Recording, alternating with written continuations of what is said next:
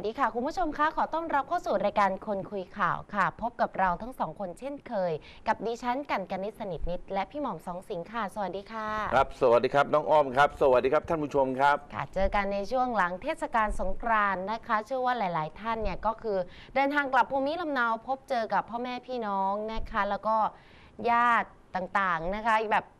อุ่นหนาฟ้าข้างนะคะ แล้วก็ตอนนี้ก็กลับเข้าสู่ช่วงปกติแล้ว ครับ พี่หม่อมล่ะคะช่วงสงกรานต์ไปไหนมาบ้างการตอนแรกแผนว่าจะไปนู่นไปนี่นะ สุจะดไปท้าย เที่ยวสุดท้ายไม่ได้ไป อ้าวทำเพไมราะพอคะ ดีสุนัขที่บ้านน่ะแล้วลูกลูกชายอะป่วยนะอืมเลยต้องพาไปหาหมอพาค่ะไปนู่นไปนี่ พาไปอะไรนะผ่าตัดผ่าลูกตาอย่างเงี้ยเห็นแล้วเลยเลยอืม เลยสรุปแล้วไม่มีอารมณ์ไปค่ะพอไม่มีอารมณ์ไปก็เลยก็ดูดูทีวีวันวันๆหนึ่งก็ต้องอย่างสมมติเราเรามีหมาเรียกหมาแล้วกันหมาค่ะ ของเราเนี่ยนะ บางครั้งเนี่ยพอเราเลี้ยงแล้วเราก็มีความผูกพันนะเนาะอืม เราจะไปแล้วสมมติเพิ่งไปผ่าตัดกลับมาอย่างเงี้ยแล้วเราจะทิ้งหมาเราได้ยังไงฮะเราก็ต้องเอายาให้เขากินคอยป้อนเหมือนกับลูกอะเหมือนเด็กไปคนหนึงก็อะ เป็นห่วง เออทุกวันนี้ก็เลยอ่า ต้องกลายว่า ปีนี้ไม่ได้ไปไหนเลยแทนที่เราจะได้นำข่าวนะ เอามาเล่าสู่กันฟัง เพราะบางทีเราไปสมมติเราไปเที่ยวสงกรารเนี่ยเราก็ยังแบบไปถ่ายภาพเนี่ยเอามาให้คนอื่นดูว่าเออบรรยากาศเป็นยังไงปีนี้เลยไม่ได้แต่งตัวเรียบร้อยแล้วนะ วันนั้นไปเลยกลายว่าต้องพามาหาหมอ สรุปแล้วไม่สนุกปีนี้ ค่ะ และอีกอย่างช่วงนี้เป็นช่วงที่หยุดยาวอืม นะแล้วพี่ก็มีภาระหลายอย่างนะต้องติดเรียนเนี่ยเดือนหน้านี่ก็ต้องมีสอบอีกแล้วค่ะ ใช่ไหมพี่ก็เลยมั่งนั่นการเมืองก็เพิ่งเสร็จ มันก็ยังเหมือนกับตอนนี้เหมือนกับสภาพจิตใจเรามันมันไม่ค่อยอยู่ปกติอะนะเหมือนเธอมีความรู้สึกว่าจะเป็นประเภทพวกซึมเศร้าก็ค่ะ ไม่ใช่เหมือนโรคอืดอะเบื่อเบื่ออยากอยากๆ นะอืมมันบอกก็ไม่รู้จะถูก เออเคยเคยเป็นไหมอาเคการยเป็นบอกไม่ถูกบางทีจะเราเป็นอยู่ยังไงก็เอไม่อยังไง บางทีชีวิตพอหลังจากเลือกตั้งไปแล้วเนี่ย ผลออกมาแล้วเป็นยังไงใช่ไหมทุกวันนี้ก็ไม่ได้คุยกับใครค่ะ บางคนก็ถามเป็นยังไงมั่งเราก็ไม่รู้จะตอบยังไง เพราะว่าการเมืองนะแล้วตอนนี้เป็นช่วงที่กำลังอยู่ในช่วงที่โอ้เรียกว่าต่อ ค่ะ และช่วงนี้ก็เป็นช่วงในเดือนหน้าเนี่ยเป็นช่วงที่ต้องราชาพิเศษก ใช่ ใช่ไหมเราก็เลยทำตัวไม่ถูกเฮ้หนังสือก็ต้องเรียน การบ้านการเมืองก็ต้องดู เพราะมันก็จะคุยกับเขาไม่รู้เรื่อง เหมือนกับไปสงกรารน้องถามพี่พี่ก็ตอบไม่ได้ แทนที่เราจะได้เออไปโดนก็ตาปรับแป้งไว้เปล่าหรือแบบไปและอย่างวัยเรามันเกินแล้ว ค่ะส่วนใหญ่ที่เราจะไปนี่เราอยากจะไปทำข่าวมากกว่า อืมคือเอาข่าวมาเล่าให้พี่น้องฟังว่าค่ะ อันไหนมันดียังไงไม่ดียังไงใช่ไหมทำให้เราเลยไม่ไม่ค่อยได้รู้เรื่องของการประเพณีสงกราร แต่เราก็เราก็ไม่ห่างนะ เราก็คอยดูทีวี ดูข่าวข่าวทุกวันนี้ก็คอยดูข่าวข่าวเพราะอะไรรู้ไหมถ้าเราไม่ดูข่าวข่าวเพราะเราเป็นนักการเมือง ถ้าเราไม่ดูข่าวข่าวเราก็ไม่รู้เรื่อง อืม ว่าตอนนี้เขาจะตั้งรัฐบาลกันยังไง เพราะข่าวมันมาหลายกระแสจนเราจนเรามึนน่ะนะจนขนาดเราเป็นนักการเมืองนะเป็นนักพิธีเป็นพิธีกร เป็นหลายๆอย่างไม่รู้เรื่องอะไรเลยบางคนถามเฮ้ยคุณไม่รู้เรื่องบางคนบางคนเคยโทรมาถามพี่เรื่อง ค่ะ เกี่ยวกับการจัดตั้งรัฐบาล โทรมาถามเรื่องอะไรนะบิ๊กโจ๊กมั่ง บิ๊กป้อมมั่งเอ้ยเราก็ไม่ค่อยจะรู้เรื่องนะเพราะบางครั้งเนี่ยตอนเนี้ยจนไม่รู้อันไหนคือจริงอันไหนคือเท็จเนี่ยค่ะนะน้องอ้อมเคยเป็นไหมเคยไปเจอค่ะ แบบเนี้ยเฮ้ยจนบางทีเราไปพูดอะไรออกไปเนี่ยบางทีมันไม่ใช่เรื่องจริงเหมือนเราก็ไปรับไปรับฟังเข้ามาแบบผิดๆอะซึ่งทางที่ดีเราควรจะเช็คเรื่องให้ชัดเจนก่อนนะก่อนที่เราจะพูดอะไรไป เพราะอีกอย่างหนึ่งอย่างพี่เนี่ยเป็นนักการเมืองใช่ไหมพูดอะไรเดี๋ยวคนก็เกิดเอาไปต่ออยอดเสร็จ คือเราต้องมั่นใจก่อนว่าเป็นข้อมูลต้จองชัดเจรินงเดี๋ยวนี้จะทำอะไรนะ ถ้าข้อมูลไม่ชัดเจนอย่าไปพูด แม้กระทั่งไปเที่ยวสงกรารเนี่ยมมันหยุดตั้งหลายวันค่ะนะหยุดหลายวันเนี่ยมันก็น่าเที่ยวแต่ไม่รู้จะไปไหน เพราะพี่อายุก็เยอะแล้ว จะไปเล่นน้ำมันเด็กก็ไม่ได้ใช่ไหมเมื่อก่อนนี้มันจะมีพักพวกไปก็ส่วนใหญ่ค่ะก็จะไปกับน้องๆก็ไปรดน้ำผู้ใหญ่ ตอนนี้เราจะไปรดน้ำผู้ใหญ่ก็ไม่รู้จะไปรดใครอะอืมพ่อแม่เราก็เสียไปหมดแล้วแล้วจะไปรดใครอะค่ะผู้ใหญ่บางทีก็ติดต่อไปที่พักพักก็ยังนิ่งอยู่ล่ะจนทุกวันนี้ ชีวิตจพักนเลเรายก็จนเลยเทศกาลมาแล้ว เออ เลยละก็ไม่เป็นไรตอนนี้ก็ค่ะเปิดเนี่ยเปิดมาวันนี้ก็เลย ก็มาเล่าสู่กันฟังนะครับ ถ้าเกิดใครมีข้อมูลหรือเที่ยวสงกรารเป็นยังไง จะจะให้เรามาออกในรายการในครั้งหน้า ก็แจ้งเรามาได้นะครับ เราจะได้นำมานำเสนอว่าการเล่นสงกรารเนี่ยมันดียังไงเนี่ยมันเป็นแต่มันเป็นประเพณีถูกไหมน้องอ้อมค่ะที่เราจะต้องมีถ้าประเทศเราเนี่ย ถ้าเราไม่เล่นสงกรารเนี่ยมันก็จะเหมือนกับ วันวันๆหนึงชีวิตก็จบไป อืมประเพณีสงกรารเนี่ยมันก็ดีอย่างหนึ่งอย่างน้อยๆก็ทำให้คนได้กลับบ้านใช่ไปพบพบปะพ่อแม่พี่น้องอืม ใช่ไหมแต่ข้อเสียบางอย่างเนี่ยบางทีมันไปแล้วไม่ได้กลับ ทำอ๋อ ใช่ไหมเพราะไม่ได้กลับเพราะหนึ่งทั้งไปเนี่ยเจตนารมณ์ของสงกรารเนี่ยเขาต้องการให้กลับไปหาพ่อแม่ญาติพี่น้อง ไปรดน้ำไปขอพร ค่ะ แต่นี่ส่วนใหญ่พวกวัยรุ่นเนี่ยกลับไปไม่ได้ไปไปหลับไปแป๊บเดียว ไปถึงก็ไปเมาใช่ไหมค่ะ พอไปเมาเสร็จก็ไปขับรถหรือไม่ก็ขี่มอเตอร์ไซค์เป็นไง เกิดอุไปบัสติวรรเหค์ตุ สร้างความเดือดร้อนในชาวบ้านบางทีก็ไปตีค่ะกัน บางคนก็ไม่ได้กลับนะ บางคนก็ต้องไปติดคุกนะบางคนก็ไปวัดเลย นี่แล้วก็บางคนก็สร้างปัญหาเยอะแยะเขาต้องบอกว่าการการที่จะมีประเพณีสงกรารเนี่ยเขา มันเป็นประเพณีที่ดีงามแต่คนเราเนี่ยมันจะมีคนบางกลุ่ม ซึ่งไม่เข้าใจ ซึ่งเราก็เคยเมื่อก่อนนี่พี่ก็เป็นวัยรุ่นที่ก็เป็นอย่างเขาเนี่ยแหละค่ะ ไปบ้านก็ไม่สนใจวันๆก็เมา อืม ใช่ไหมพอตอนนี้เราเริ่มมารู้อ๋อสิ่งที่เขาห้าม แต่คนเราวันเราวัยรุ่นเนี่ย อย่างน้องอ้อมเนี่ยอย่างพี่ไม่ห้ามอย่าไปเที่ยวนะ อย่าไปดื่มแล้วเออไม่ไม่ฟังนะพี่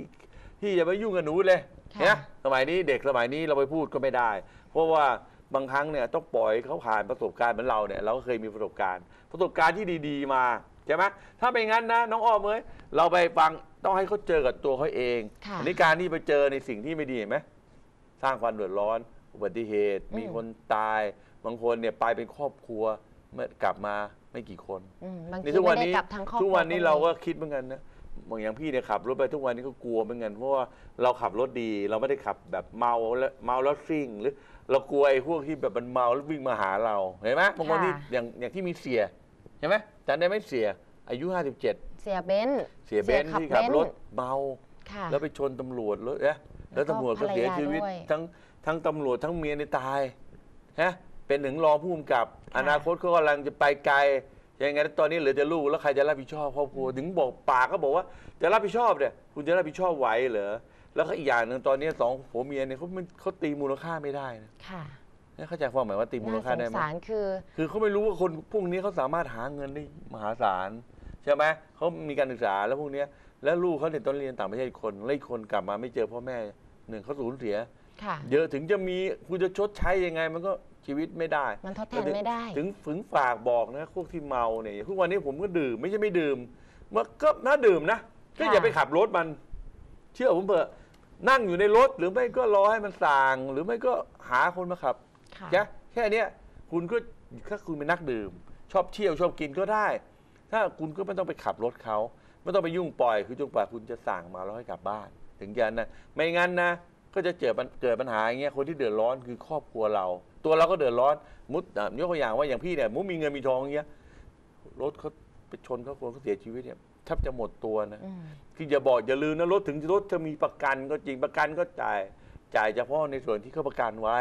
แต่ไม่ได้เขาไม่ได้ให้คุณหมดนะ นี่ถือว่าเป็นการละเมิดนะครับค่ะ เนี่ยคุณต้องเสียเงินทอง สมมุติค่าตัวเขาเนี่ยบางคนเนี่ยประกันประกันแค่ไม่ไม่กี่ล้านนะ ค่ะ แต่ค่าตัวเขานี่เขาอาจจะหาเงินได้เป็นร้อยล้าน อืม นี่คุณจะเอาเงินไหนมาชดเชยเขา อะเขาแล้วเก็บกันใช่ไหม ให้นานๆนะคะ อ่าเนี่ยถึงฝากไว้ว่า คิดให้ดีนะครับ การที่จะขับรถเมาเนี่ยปัญหาตามมาเยอะแล้วก็มันก็ไม่จบด้วยนะครับ แล้วตอนนี้กฎหมายก็เริ่มเข้มนะครับ ก็ตอนนี้กฎหมายก็ถือว่าเขาเห็นเห็นก็ว่าช่วงนี้เขาบอกว่าไงไหมน้องอ้อม ค่ะถ้าใครขับรถชนคนตายก็ถือว่าเจตนาฆ่าอ่านะคะใช่ไหมกฎถึงหมายบอกว่าเข้มต้องข้นระวังหน่อยนี่เป็นจุดค่ะ โทษเริ่มแรงขึ้นแล้วนะครับฝากไว้ด้วยพี่น้อง ใช่ค่ะอะสำหรับข่าวคราววันนี้เราก็มีเรื่องราวเกี่ยวข้องกับรถราเหมือนกันครัค่ะบ พี่หม่อมสำหรับเรื่องแรกเลยละกันนะคะ เป็นอุทาหรณ์สำหรับใครที่ชอบ ชาร์จแบตมือถือไว้บนรถนะคะอืมแต่เจ้านี้คือเขาลืมถอดสายชาร์จออกมาค่ะ ปรากฏว่า power bank เนี่ยที่ชาร์จไว้อยู่ในรถเนี่ยไฟลุกเนี่ยวอดทั้งคันเลยค่ะโดยเหตุการณ์นี้นะคะเจ้าหน้าที่ป้องกันแล้วก็บรรเทาสาธารณภัย เทศบาลนครภูเก็ต และเจ้าหน้าที่มูลนิธิกุศลธรรมภูเก็ตค่ะอืมได้มีการรับแจ้งเหตุเกิดไฟไหม้รถยนต์ ภายในที่จอดรถคอนโดมิเนียมแห่งหนึ่งใจกลางเมืองภูเก็ต เจ้าหน้าที่ได้เดินทางไปตรวจสอบ ก่อนจะเข้าช่วยกันดับเพลิงที่กำลังลุกไหม้ที่ห้องเครื่องยนต์แล้วก็คอนโซลด้านหน้ารถคันหนึ่ง โดยใช้ระยะเวลาประมาณ 20 นาทีนะคะ จึงสามารถดับเพลิงเอาไว้ได้ ภายหลังจากที่เพลิงสงบลงแล้วเนี่ยเจ้าหน้าที่ได้ทำการตรวจสอบ พบว่า power bank สภาพถูกไฟไหม้เกรียม ละลายเสียบคาทิ้งไว้ในรถยนต์และเจ้าหน้าที่คาดว่าน่าจะเป็นสาเหตุทำให้เกิดไฟลุกไหม้ในครั้งนี้ โดยเริ่มต้นที่ส่วนคอนโซลหน้ารถ ก่อนที่ไฟจะลุกลามไปห้องเครื่องยนต์ จนได้รับความเสียหายดังกล่าว โดยสอดคล้องกับพยานที่เห็นเหตุการณ์เล่าให้ฟังว่า พบเห็นกลุ่มควันไปมาออกจากห้องเครื่องรถยนต์ของรถคันดังกล่าว จึงได้มีการแจ้งเจ้าหน้าที่ แล้วก็คนดูแลคอนโด ให้ช่วยกันนำถังเคมีดับเพลิงมาระงับเหตุแต่ปรากฏว่าไฟก็ยังลุกไหม้อยู่ภายในห้องเครื่อง ก็เลยแจ้งเจ้าหน้าที่ตามมาสมทบอีกที เพราะหวั่นเกรงว่าไฟจะลุกลามไปมากกว่านี้ และทำให้เกิดระเบิดขึ้นได้ขณะที่ผู้ขับขี่รถคันดังกล่าวนะคะ เพราะว่าเป็นหญิงสาวชาวรัสเซียค่ะ เธอได้ยอมรับกับเจ้าหน้าที่ว่าก่อนเกิดเหตุ เธอได้เสียบสายชาร์จ power bank เอาไว้ แต่ว่าลืมถอดออกมา ก่อนจะขึ้นไปห้องพักประมาณ 2-3 ชั่วโมง แล้วก็มีเจ้าหน้าที่ไปแจ้งว่ารถยนต์ของตนนั้นถูกไฟไหม้ เบื้องต้นนะคะ เจ้าหน้าที่ไม่พบปัจจัยอื่น ๆ ที่น่าจะชนวนเหตุของไฟไหม้ นอกจากการเสียบ power bank ทิ้งเอาไว้ภายในรถ แม้จะดับเครื่องยนต์ไปแล้วก็ตาม แต่ประจุไฟยังคงอยู่ อาจจะเกิดความร้อนสะสมทำให้จุดเพลิงติดขึ้นมาในรถคันดังกล่าว แต่ยังไม่ตัดประเด็นเรื่องอื่น ๆ ทิ้งนะคะโดยต้องรอเจ้าหน้าที่กองพิสูจน์หลักฐานเข้าการตรวจสอบอีกครั้งต่อไป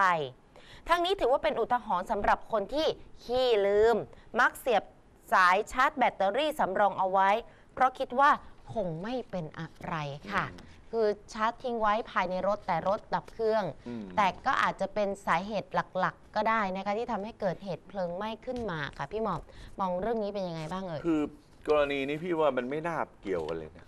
เพราะว่าหนึ่งกรณีไฟเนี่ยค่ะ เกิดมันไม่ สตาร์ทเนี่ยหรือไม่เปิดสวิตช์ไว้เนี่ยมันก็ไม่ทำงานอืมส่วนใหญ่มันจะมันจะปิดเลยอะนะไอ้กรณีเคสของไอ้แบบ เพราะว่าค่ะทุกครั้งเนี่ยเวลาจะชาร์จอะไรเนี่ยอย่างพี่เนี่ยมันอย่างในรถเนี่ย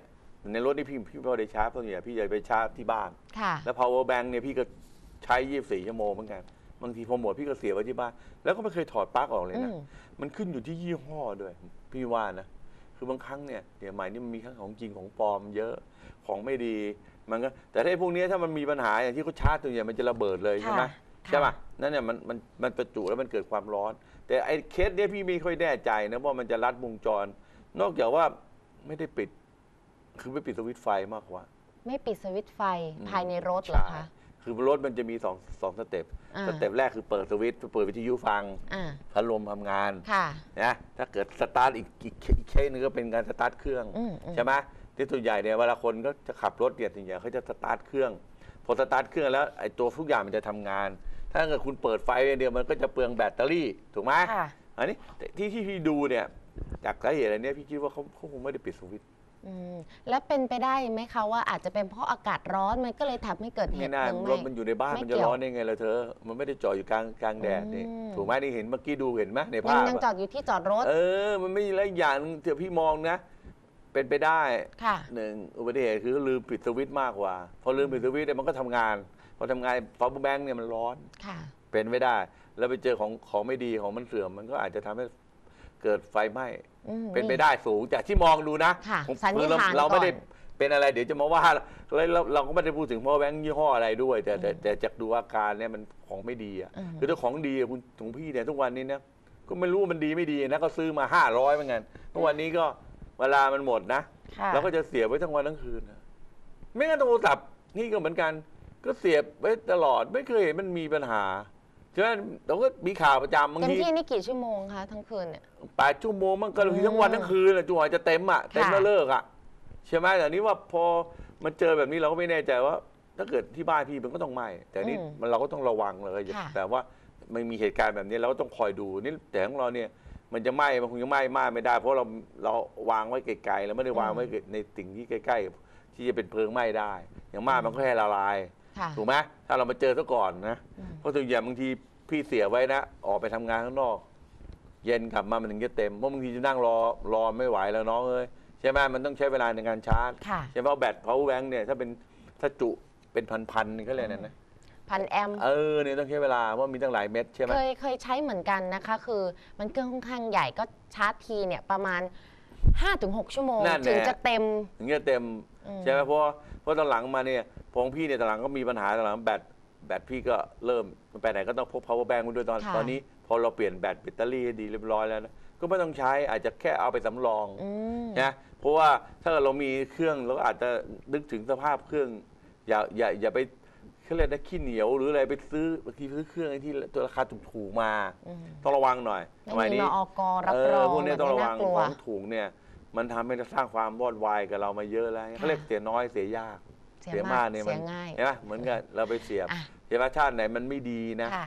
อย่าใช้เลยเชื่อผมเถอะเราคิดถึงความปลอดภัยสภาพมันไม่ดีแล้วคุณก็อย่า เหมือนกับรถยนต์นะนะอืมไม่ดีแล้วคุณยังขับขับไปคุณก็รู้ว่ามันไปไม่รอด อย่าฝืนอย่าฝืน เออก็ก็อย่าค่ะไปทำมันพยายามนะครับ คิดถึงว่าเราอันไหนที่มันคือของเนี่ยในนะ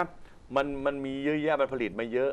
รุ่นใหม่มันก็ต้องดีกับรุ่นเก่านะครับอันไหนเราอย่าไปเสียดายเลยซื้อใหม่นะครับ ถ้าเห็นท่าฝากไว้ด้วย เห็นท่าไม่ดี นะครับค่ะราคาก็ไม่เท่าไหร่หรอกครับ อืมฝากไว้เป็นอุทาหรณ์ครับด้วยนะคะ เดี๋ยวก็รอทางเจ้าหน้าที่ครัเขาบตรวจสอบที่มาที่ไปอีกครั้งหนึ่งแค่เป็นการสันนิษฐานเบื้อครังบต้นว่าอาจจะมาจากเจ้าตัว power bank หรือไม่นะคะ ก็เป็นอุทาหรณ์สำหรับใครก็ตามแต่แหละ ก่อนจะออกจากบ้านหรือออกจากรถต้องตรวจให้ดีว่าอุปกรณ์ที่มันอาจจะอาจจะก่อให้เกิดอันตรายเนี่ยคือ เราดูดีหรือยังเราถอดหมดแล้วหรือยังนะคะ ครับ อีกหนึ่งเรื่องค่ะ เรื่องนี้ก็ไฟลุกที่รถเหมือนกันค่ะพี่อืมหมอม แต่ ตรวจสอบไปไปมามาปรากฏว่าพบเจอยาบ้ายาเสพติดอยู่ภายในรถ แล้วเจ้าของเนี่ยก็คือหนุ่มคนนี้เนี่ยโป๊ะแตกขับรถเก๋งแล้วก็อืมขนยาบ้า กลัวว่าจะถูกจับได้ก็เลยมีการจุดไฟเผาซะเลยนะคะโอ้โดยเรื่องนี้ค่ะเจ้าหน้าที่อืมรับแจ้งเหตุฉุกเฉิน 191 ค่ะคุณผู้ชม จังหวัดเพชรบุรีได้รับ ว่ามีเหตุเกิดเพลิงไหม้รถเก๋งบริเวณริมถนนเพชรเกษม ขาล่องใต้นะคะ หมู่ 3ตำบลหนองปรงอำเภอเขาย้อยจังหวัดเพชรบุรี จึงได้มีการสั่งการให้ตำรวจสพเขาย้อย ไปตรวจสอบที่เกิดเหตุ พร้อมประสานรถดับเพลิงอบตหนองปรงเข้าช่วยฉีดน้ำดับไฟ ขณะที่ทางด้านของพันตำรวจเอก วรวัตรแคมวง ผู้กำกับสพเขาย้อย และพันตำรวจโทนนทวัฒน์ทองคำสารวัตรสอบสวน พร้อมกับเจ้าหน้าที่ตำรวจสพเขาย้อยเข้าตรวจที่เกิดเหตุ เพราะว่าเป็นรถยนต์ดังกล่าวเนี่ยมีไฟลุกไหม้บริเวณห้องเครื่องของรถยนต์วอลโว่940 GL สีบรอนซ์เงิน ชาวบ้านแล้วก็เจ้าหน้าที่ก็ช่วยกันดับไฟค่ะ แล้วก็ควบคุมไฟไว้ได้ในเวลาต่อมาขณะตรวจสอบความเสียหายนะคะของรถยนต์คันดังกล่าวพบว่า มียาบ้าตกกระจายอยู่ใต้ท้องรถค่ะ จึงได้มีการตรวจสอบภายในตัวรถเพิ่มเติม แล้วก็พบอีกว่ามีการซุกซ่อนยาบ้าไว้ในเครื่องห้องยนต์ของรถจำนวนหลายมัดด้วยกันค่ะ โดยเจ้าหน้าที่ได้มีการแจ้งไปยังพลตำรวจตรีเทียนชัยคามะปะโส แล้วก็พันตำรวจเอกสมเด็จทิติวัฒนกุล ซึ่งเป็นเจ้าหน้าที่นะคะจาก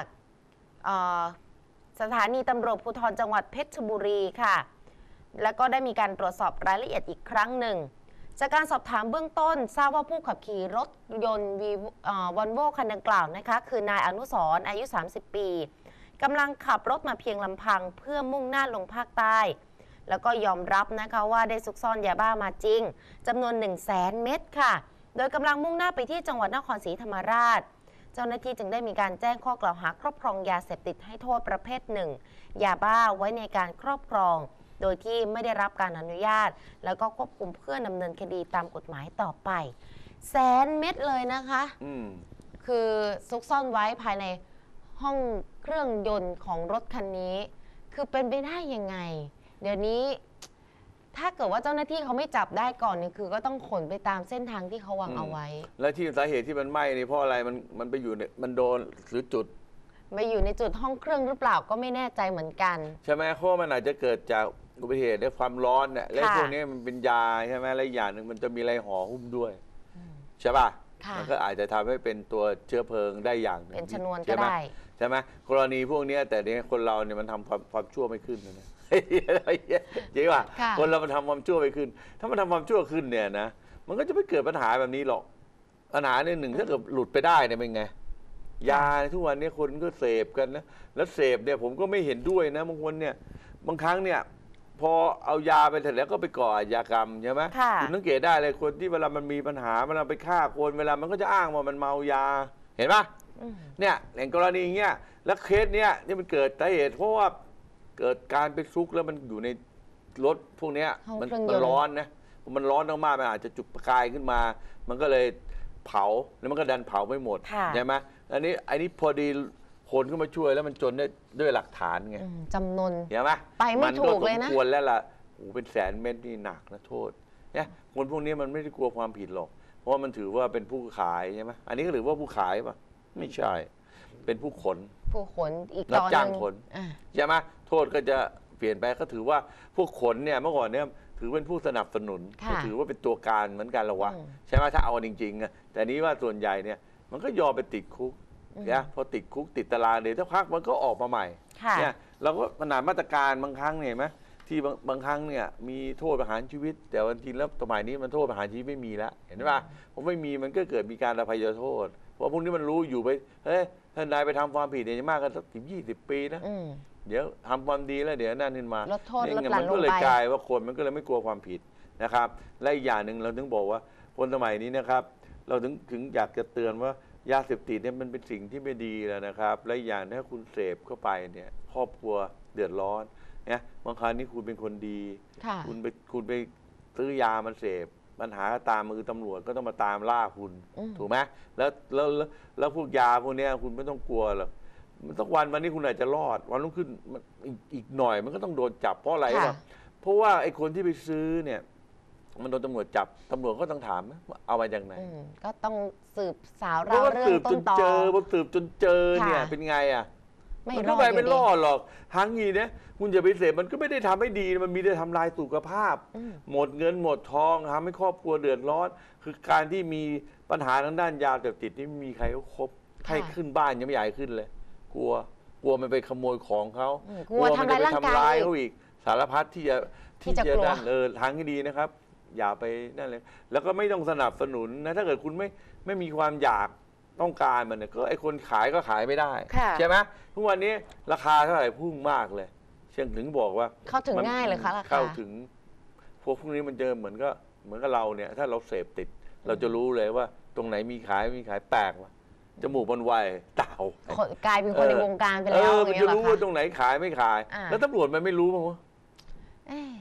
อาจจะมีเบาะแสบ้าง แต่ยังรู้ไม่ก็ลึกก็หรือดีเปแล้วแหล่าละที่โดนอย่างน้อยแสนเม็ดมันก็ไม่ได้ผ่านออกไปนะ ค่ะ ก็ยังอย่างน้อยก็นี่ก็มีแต่ควรจะทลายแหล่งนะ คือไม่เห็นค่ะ ด้วยนะ ผมเรื่องพวกยาเสพติดเนี่ย บอกได้เลยว่าถ้าโทษเนี่ยมันควรจะต้องโทษหนักกันนี่ไม่ใช่ปล่อยอย่างเงี้ยนะมันถึงเป็นแบบค่ะ ทุกวันนี้ประชาชนเดือดร้อนนะครับ จับแล้วจับอีกก็ไม่เลิกสักทีก็ไม่รู้จะทำไงอะนะ อืมแล้วก็คำคำพูดที่บอกว่า ยิ่งจับก็ยิ่งเยอะ เออไม่หมดสักแก้ทีไม่หายมันเป็นนะอะไร คือมันต้องแก้หนึ่งแก้ต้นตออันนี้มันค่ะ เป็นปลายเหตุที่ขายนะหนึ่งการอยู่ที่ต้องให้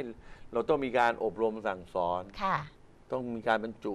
ในวิชาเรียนตั้งแต่วัยเด็กเลยว่ายาพวกนี้เป็นภัยต่อสังคมนะลูกหลานอย่าไปเสพมันนะนะแล้วก็มีการเอาตัวอย่างมาให้ดูเป็นยังไงเนี่ยปลูกเล่นฝัเรื่องงปลูกจิตฝังสำนึกเด็กๆเลยนะค่ะ รับรองเด็กมันก็จะรู้มันก็จะไปบอกข้างทางบ้าน แต่นี่บางอย่างเนี่ยมันบอกไม่ได้ เพราะอะไรวะเพราะว่าบางคนมันเมกอะลิฟวิ่งมันอยู่ได้เพราะขายยา แต่แต่แต่คนที่ขายยาไปไม่เคยรอดนะครับท่านผู้ชมนะครับยังไงฝากก็ไม่ไว้ด้วยรอดถ้าไม่อยากจะติดคุกนะครับ หรือว่า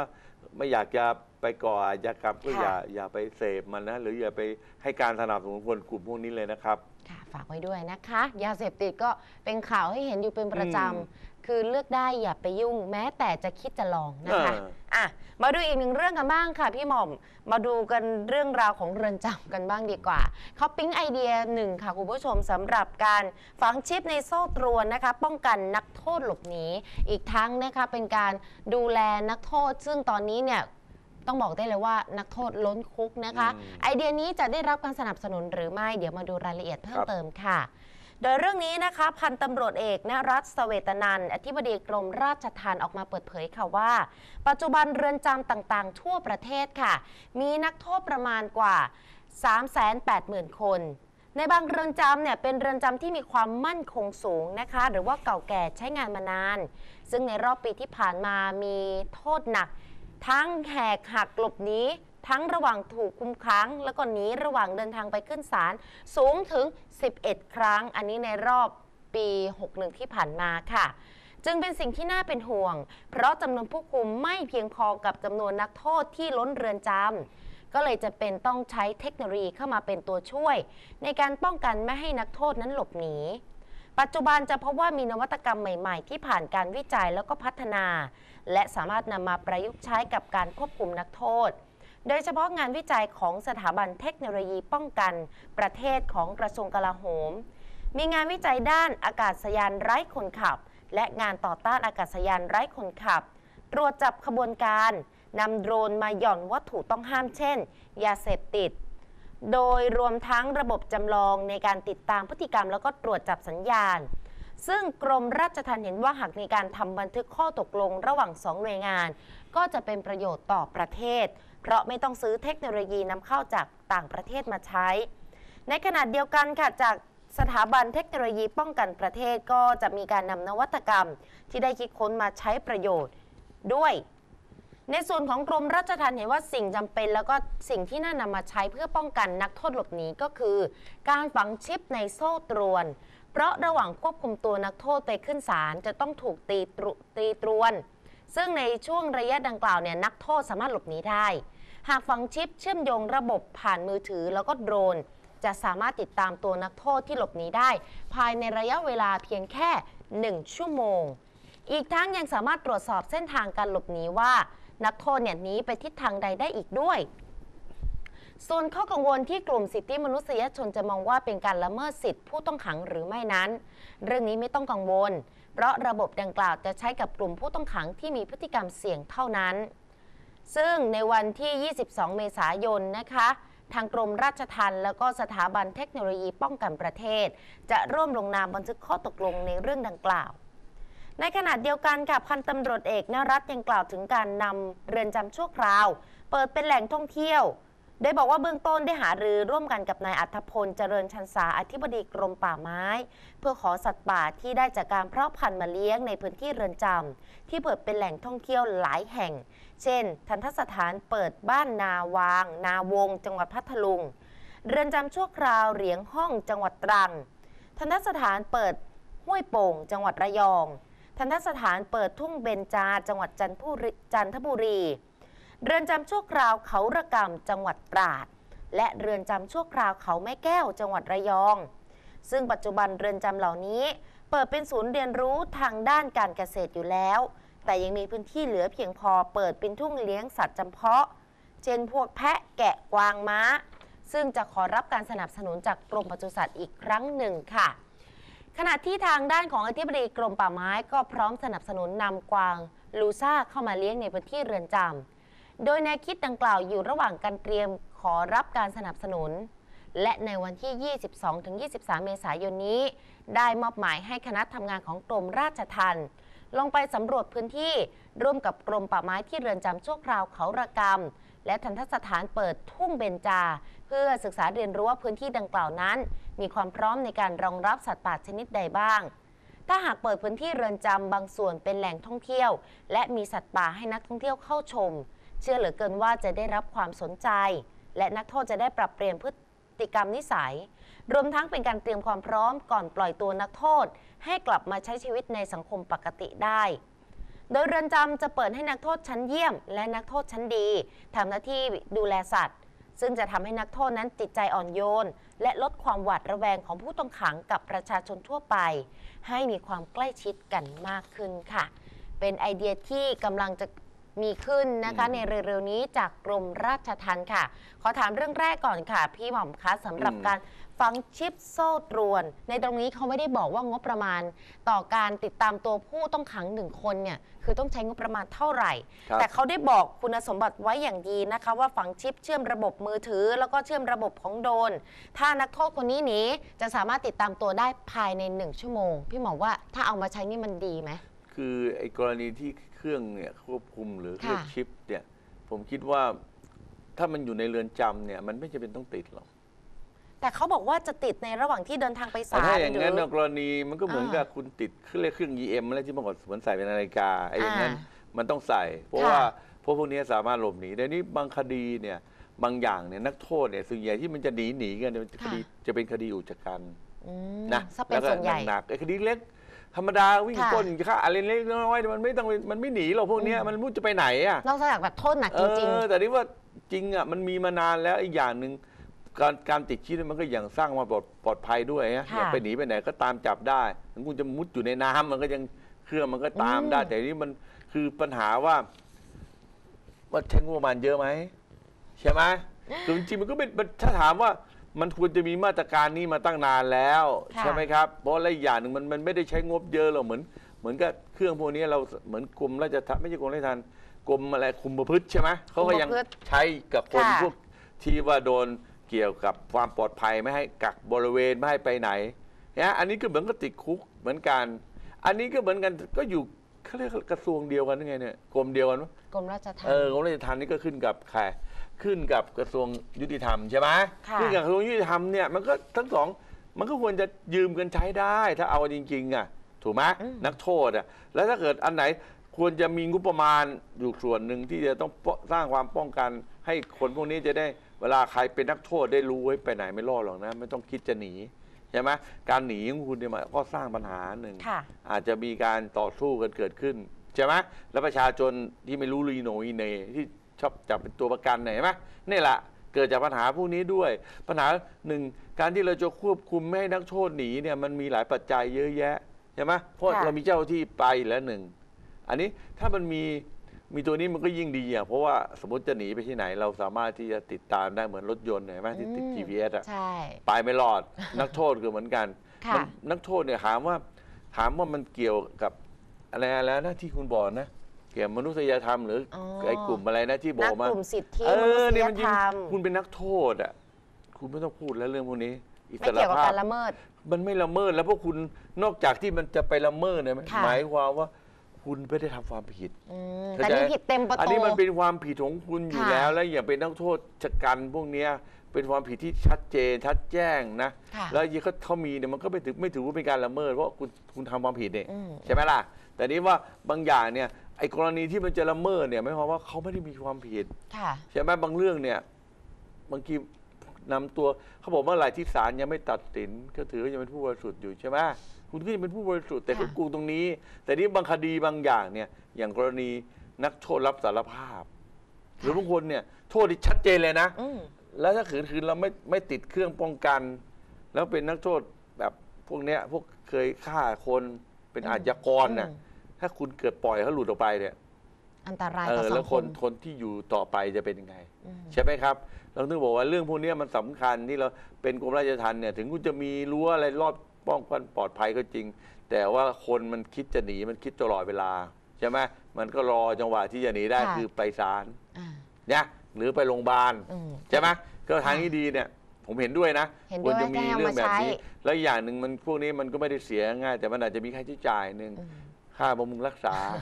นะเอาว่าต้องใช้ไปโดรนต้องเหมือนกับโทรศัพท์โทรศัพท์นั้นอ่าเป็นใช้อยู่แล้ว ค่ะ แต่ว่าถ้าเราเราคิดแล้วมันคุ้มกว่านะเหมือนก็เหมือนกับเรามีวงจรปิดอะอืม นะของเรามีวงจรปิดหนาแน่นรัดสิ่งกุมขึ้นสิ่งที่ดีตามมามันก็โอกาสที่จะหนี ใช่เจ้าที่ก็ไม่ต้องไม่ต้องเดือดร้อนนะค่ะ ฝากไว้ด้วยนะควรจะมีนะครับอย่างนี้เห็นด้วยนะครับ ใช่ค่ะ แล้วก็อีกหนึ่งเรื่องก็คือการนำเรือนจำชั่วคราว ซึ่งหลายแห่งที่จะเข้าร่วม เปิดเป็นแหล่งท่องเที่ยว หรืออาจจะใช้พื้นที่ในเรือนจำบางส่วนเนี่ยเป็นพื้นที่ที่เพาะเลี้ยงสัตว์ อย่างเช่น แพะกวางม้านะคะ เพื่อเป็นสถานที่ท่องเที่ยว อืม พี่หมอมองเรื่องนี้ยังไง เรื่องนี้ดีครับ เพราะว่าอืม นักโทษทุกวันเนี้ยเขาก็มีงานทำอยู่แล้ว ข้างในโดยเฉพาะอ่า โดยเฉพาะพวกที่ประพฤติดีค่ะ หรือพวกที่พวกเนี้ยนะคุณเปิดประตูมันก็ไม่ออก ทำมันไมก็ไปล่ะเฝ้าคะมันก็ไม่ออก อ่าเพราะว่าเขาจะได้ออกอยู่แล้วอะอืมไม่จำเป็นคุณต้จะองไปหนีทำไมอะารอเวลาอีกนิดหน่อย อะสมมุติเนี่ยเป็นนักโทษชั้นดีประมาณปีหน้าก็ออกคุณติดมาตั้งสิบยี่สิบปีแล้วอย่างเงี้ยแค่เดือนเดียวสองเดือนรอไม่ได้ค่ะเหรือปีหนึ่ง ใช่ ใช่ไหมอืม คุณออกไปก็ไม่มีอาชีพอยู่แล้ว มาทำงานซึ่งก็อย่างน้อยเขาไม่เครียด การอยู่ในเรือนจำเนี่ยนะมันเครียดนะ เพราะว่ามันอยู่ในพื้นที่แคบๆใช่ไหม แล้วตอนนี้ให้เขามาเลี้ยงสัตว์ดูแลสัตว์จิตใจเขาจะได้อ่อนโยนใช่ไหมแล้วและอีกอย่างหนึ่งนะครับ พวกเนี้ยมันก็จะได้มีเขาเรียกอะไรนะ สถานที่บางอย่างเนี่ยมีค่าใช้ค่ะ จ่ายเกิดเกิดขึ้นไหม อืมจะได้เอามาแล้ว บำรุงเนี่ยสมมุติอ่าเรือนจำเนี่ยเป็นชั้นดี ค่ะ มีสัตว์ป่ามาดูคนเข้ามาดูไหมแน่นอน และต้องและคนต้องเสียตังค์ไหม ก็ต้องเสียตังค์ใช่ไหมเป็นเสียค่าบริการษ ค่าดูแลมีอาหารเนี่ยอ่าเนี่ยนักโทษที่เรือนจำได้อาจจะได้มีอาหารกินดีอยู่ดีต่างหากใช่เห็นไหมแล้วค่ะ เนี่ยแหละ และอีกอย่างหนึ่งจิตใจเขาก็จะอยู่กับสัตว์และอย่าถือว่าเป็นการพัฒนาเห็นไหมค่ะทำให้คนพวกเนี้ยได้ดีกับเขานอนวันวันๆบางทีนักโทษอะบางทีนะเขาจะมีงานทำจริงอะบางทีแต่นี้งานบางอย่างเนี่ยมันเป็นงานแบบส่วนใหญ่จะกวาดพื้น เก็บขยะงานะนห้องเบสิกน้ำมันก็มีอยู่แค่เนี้ย เนี่ยอันนี้เอาเฉพาะอย่างที่บอกนะ ต้องเป็นนักโทษชั้นดีนะใช่ค่ะฝากไว้ด้วยใช่ไหมนะคะอาจจะและอีกอย่างปัญหาอะไรมันจะได้ไม่เกิดจากการที่ไปทำร้ายประชาชนคนก็มา ญาติพี่น้องก็จะได้อืม เข้ามา เห็นได้ชัดเจนใช่แล้วนะคะ เกณฑ์จะไม่ต้องอยากกลับบ้าน อะเดี๋ยวเราดูอีกครั้งหนึ่งนะคะเออเดี๋ยวมีการพูดคุยกันทั้งสองเรื่อง ทั้งการติดฝังชีพแล้วก็อืมกรณีที่จะเปิดเป็นแหล่งท่องเที่ยวคาดว่าน่าจะได้ข้อสรุปไม่ครับ เกินสิ้นเดือนเมษายนนะคะ คุณผู้ชมคะเดี๋ยวเรามาปิดท้ายอีกหนึ่งเรื่องกันนะคะ ก่อนที่จะจากลากันไปในวันนี้ค่ะสำหรับกรมคุมประพฤติค่ะ อืม ช่วงสงกรานต์ที่ผ่านมาพบนะคะว่ามีการจับสำหรับผู้ที่มีพฤติกรรมเมาแล้วขับกว่า 8,000 คดีค่ะ โดยเรื่องนี้นะคะได้รับการเปิดเผยจากนายประสานมหาลิตระกูล อธิบดีกรมควบคุมประพฤติกล่าวว่า สถิติคดีที่ศาลสั่งควบคุมประพฤติในช่วงควบคุมเข้มงวด ของวันที่ 15 เมษายนที่ผ่านมามีจำนวนสูงถึง 4,264 คดี แบ่งเป็นคดีขับรถขณะเมาสุรา 4,262 คดี คิดเป็นร้อยละ 99.95คดีขับรถประมาท 2 คดี คิดเป็นร้อยละ 0.05 นอกจากนี้ศาลยังมีคำสั่งให้ใช้อุปกรณ์อิเล็กทรอนิกส์ติดตามตัวหรือ EM ในฐานความผิดขับรถขณะเมาสุราสูงถึง 203 ราย โดยส่วนใหญ่นะคะกำหนดเงื่อนไขห้ามออกจากที่พักอาศัยตั้งแต่เวลา 4 ทุ่มถึงตีอืม4เป็นเวลา 7-15 วัน คุมประพฤติ 1 ปี รายงานตัว 4 ครั้ง พร้อมทั้งทำงานบริการสังคม 24 ชั่วโมงเป็นต้น ส่วนยอดสะสมกรณีที่ศาลสั่งใช้อุปกรณ์ EM ในช่วง 5 วัน คือวันที่ 11 ถึง 15 เมษายน 2562 มีทั้งสิ้น 389 ราย แบ่งเป็นคดีขับรถขณะเมาสุรา 387 ราย คดีขับเสพ 2 ราย สำหรับยอดสะสมจังหวัดที่มีสถิติคดีขับรถขณะเมาสุราสะสม สูงสุด 3 อันดับค่ะ ได้แก่ 1. มหาสารคาม 596 คดี 2. กรุงเทพมหานคร 480 คดี และ 3. จังหวัดนครพนม 440 คดีค่ะอืมนี่ก็เป็นผลสรุป 5 วันสงกรานต์ช่วงที่ผ่านมาจับเมาขับกว่า 8,000 คดีค่ะ เนี่ยสงสัยไหม มันอะไรพูดคะมันมีประเพณีประเพณีบ้านเราเนี่ยนะเราพูดกันตรงๆมันถ้ามันไม่มีเหล้ามันไม่มันอะมันจำเป็นอ๊ะต้องมีทำยังไง เหรอคะเออมันถ้าสมมติคุณไปเที่ยวสงกรารคุณไปดูเด็กผู้หญิงบางคนเรียบร้อยมพอเปิดเพลงเต้นกินเหล้ามันก็เต้นเป็นเว้ยเห็เต้นนไหม เต้นไม่หยุดด้วยบางคนเออทั้งเนี่ยคืนทั้งเราวันบางทีพี่ขับรถมาเนี่ยพี่สังเกตดูบางทียายคนเนี้ยขายของอยู่แถวเนี้ยพอค่ะ ถึงเวลาสงกรารมันทำไมมันต้องมาเต้น ดื่มใส่แว่นอันนึงค่ะ ปกปิดสายตาก็ไม่รู้ แล้วก็ทำท่าแบบ เฮ้ย มันคนมันก็เป็นไปได้เหมือนกันนะ แต่นี่ว่าไอ้การดื่มตุลาแบบลักษณะเมาแล้วอยู่กับที่ ไอ้เมาเนี่ยมันไม่มีปัญหา มันมีอยู่สองพวกที่เมาที่สร้างปัญหาค่ะเมาแล้วอันตรพานอืมสร้างเรื่องชอบทะเลาะเบาะแวงแต่ไอ้คนพวกเนี้ยไม่ควรให้ดื่มนะสองไอ้พวกเมาแล้วชอบขับอืมคือเมาเนี่ยไอ้เมาเนี่ยขับมันมันขับได้ แต่ต้องเมาลักษณะแบบนิดหน่อย ไม่ใช่เมาแบบอื้อหือ เกินปริมาณแอลกอฮอล์ศูนย์จุดอะไรนะห้าร้อยนะศูนย์จุดห้าใช่ไหมห้าสิบมิลลิกรัมเปอเอร์เซ็นอต์นั่นนะแต่นี่อ่าตอนนี้ปัญหาว่าคนเราเนี่ยบางครั้งเนี่ยมันต้องใช้รถขับ แต่ว่าคุณต้องดูสภาพคุณก่อน ว่าสภาพคุณน่ะไปได้ไหมสภาพตัวคนเอขับอไม่ใช่บางคนนี่มันมันเมาอื้อหือบางคนเข้าไปกี่เป็นร้อยอะไรอย่างเงี้ยมันก็ไม่ไหว อย่างเงี้ยไม่ควรขับนะครับแล้วเป็นพวกญาติพี่น้องเพื่อนๆก็ไม่ควรให้เขาขับรถออกค่ะไปนะครับเพราะว่ามันปะกลับไปเนี่ย มันเป็นการลักษณะแบบอะไรนะหนึ่งไม่ล้มไม่คว่ำก็ต้องไปชนคนอืม มันมันเล็งเห็นผลนะใช่ไหมคือคือคุณขับรถไปเนี่ย คุณอาจจะไปชนคนก็ได้ หรือคุณอาจจะไปนั่นแล้วปัญหาตามมาคือรถคว่ำคุณอาจจะเสียชีวิตและถ้าเป็นมอเตอร์ไซค์ค่ะ ในยโอกาสเสียชีวิตสูงเพราะคุณประคองตัวเองประคองไม่ได้เลยแล้วมันจะไปได้ยังไงนะน้องอ้อมอย่างเมาบางคนที่เมา เนี่ยกรณีอย่างเงี้ย ศาลไม่ใช่ศาลนะก็ถ้าเกิดตำรวจจับนะครับ จับค่ะใส่เครื่องนี้เลย EM เนี่ยนะครับ แล้วก็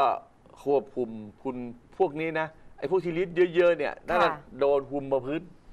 หนึ่งนะก็ไม่กล้ากิน กินได้อยู่ที่บ้าน ห้ามไปไหน ห้ามออกนอกสถานที่ตั้งแต่สี่ทุ่มดีถึงไหมตีน้องอ้อมมันดีสี่ไหมก็ดีนะคะ คือปัญหาก็คนก็ไม่ตาย ใช่ไหมไม่เดือดร้อนใครตัวเองก็ตัวเองก็ปลอดภัยด้วย ตัวเองตายก็ไม่ว่าหรอกไอ้คนอื่นก็ไม่รู้เรื่องอีโหนอีเหนเนี่ยมาตายค่ะเนี่ยอย่างเนี้ยแล้วแล้วอีกอย่างหนึ่งคุณสังเกตไหมพอเขาประกาศมันจะตายก็เหมือนกับจะลดจำนวนประชากร มันจะตายช่วงปีใหม่หนึ่งนะอ่าสงกรารเดี๋ยวจะมีค่ะอะไรเนี่ยเทศเทศกาลอะไรมีอะไรอีกไหม อาจจะเป็นพวกเทศกาลเล็กๆน้อยๆฮาโลวีนอย่างเอนี้ไหมอพวกคะนี้อันนี้ก็อันนั้นนั่นลอยกระอีทกงกลุ่มหนึงบ้านนั่นปะปลายอันนั้นอีกกลุ่มหนึ่งอืมไอ้พวกฮาโลวีน พวกกลุ่มพวกกลุ่มพวกเธอเงี้ยไอ้วัยรุ่นกลุ่มวัยรุ่นหน่อย เแต่นี่ว่าไอ้กลุ่มนี้เขาปัญหาว่าเราจะแก้ปัญหาหนึ่งถ้าจะแก้ให้แบบเด็ดขาดเลยนะ ค่ะ ไม่ต้องขายแอลกอฮอล์เลย ไม่ต้องให้มันกินไม่ต้องไม่ต้องกินไม่มีแอลกอฮอล์เลยเป็นศูนย์เปอร์เซ็นต์ไปเลยเอาแบบอย่างนี้ไม่นั้นไหมมีตายใช่ไหม เดี๋ยวมันก็ก็ไม่จะมันมีการประท้วงกันขึ้นมันมาก็อีไม่กมาในคนขายเหล้าก็ขายไม่ได้อีกค่ะ บางคนเนี่ย ขายเหล้าสงกรารเนี่ย ขายได้เยอะได้กำไร มากเพราะกว่าว่าเพราะวันว่าปเพกราะว่าติ เพราะว่าคนเราเนี่ยถ้าไม่ไปกินน้ำถ้าไม่กินน้ำเปลี่ยนนิสัยมันมันก็ไม่มันไงแม่นั่งผู้หญิงไปดูเลยบางคนเนี่ยเรียบร้อยพอมันกินน้ำเปลี่ยนนิสัยโอ้โหมันโชว์เลยบางที เห็นป่ะค่ะ นี่มันเป็นเป็นลักษณะแบบเนี่ยถามว่าเหล้ามีส่วนมันเป็นมันมีส่วนทำให้คนใจกล้าเมาใช่ไหมแต่ว่าเราจะทำไงจะควบคุมสติเราได้ และอย่างหนึ่งการดื่มเหล้าเนี่ย ถ้าเราเราเราชอบดื่มเนี่ยเราก็ต้องรู้ตัวเราเองด้วยว่า เราขับรถออกไปเนี่ยจะเกิดปัญหาไหมเนี่ยเหมือนทุกวันเนี่ยจะไปกินอะไรทุกวันนี้พี่จะไปดื่มเหล้าไปไหนพี่ก็ต้องระวังตัว เพราะว่าเกิดเราเราดื่มไปแล้วเกิดพลาดขึ้นมาเนี่ย ไปชนเขาอะอืมนะหลับในบ้าง หรือถูกเขาชน ทุกวันนี้ทุกวันเราเราอย่าไปดื่มเลยดีกว่าหรือไม่ก็ถ้าจะดื่มก็ได้ไม่ต้องขับรถ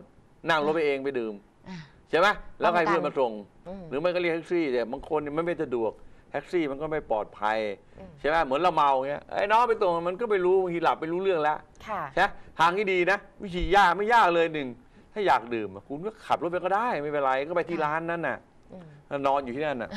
แล้วก็ถึงเวลาแล้วก็กลับใช่อย่างเงี้ยแล้วถ้าเกิดทางบ้านไม่มีปัญหานะค่ะก็คุณก็นอนเสร็จกลับ แต่นี่อย่างที่คือน้องอ้อเคยถามว่าถ้าเป็นผู้หญิงทำไง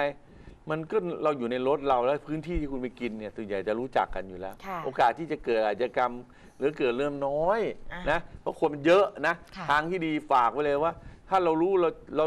กินแล้วหนึ่งมีอาการนะก็อย่าไปดื่มมันซะอืม นะเพราะจะสร้างปัญหา แล้วละแล้วอย่างกรณีตะไมเนี่ย